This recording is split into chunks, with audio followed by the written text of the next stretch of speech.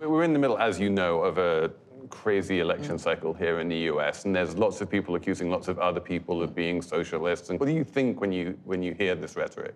Been there, done it, don't want to see it ever again. Could it happen to this country? I, I don't think so. I think that uh, the Americans are so pragmatic, uh, there is no way that they would go for uh, the craziness of uh, uh, mediocrity.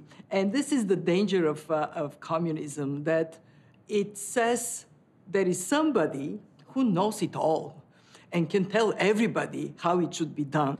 Now, we live in a country where the, where the president is someone who thinks he knows it all. Well, you you uh, sell the U.S. short. Uh, and also, just Despite to give credit, the man in the White no, House. that just to give a credit uh, to to the uh, leadership here, uh, the United States uh, is uh, one of the better performing economies, and it is because it had the bravery to use a tax reform to spur more growth. Ah, so you're in favor of the, the Trump tax cuts? I'm in favor of countries using their policy space to make the economy more vibrant and ultimately to make the lives of people better.